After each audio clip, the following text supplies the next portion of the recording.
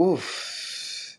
I don't know, man. Like, I, awkwardness helps in some cases, but I don't know if it's gonna help in this case. Like, Pitbull, he is like that dude is a problem.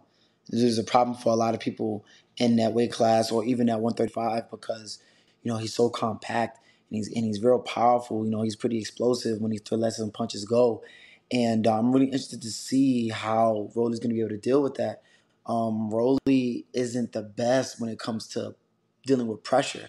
Like I didn't see Rolly like kind of you know get flustered in those type of moments when he's like it's too much going on, and Pitbull he's to apply that pressure. He's to be all up in his chest throughout the whole fight, ducking low and making Rolly, you know, miss those wide hooks, and it's gonna be real interesting to see how that goes. Um, Pitbull is definitely gonna bring it to him, man.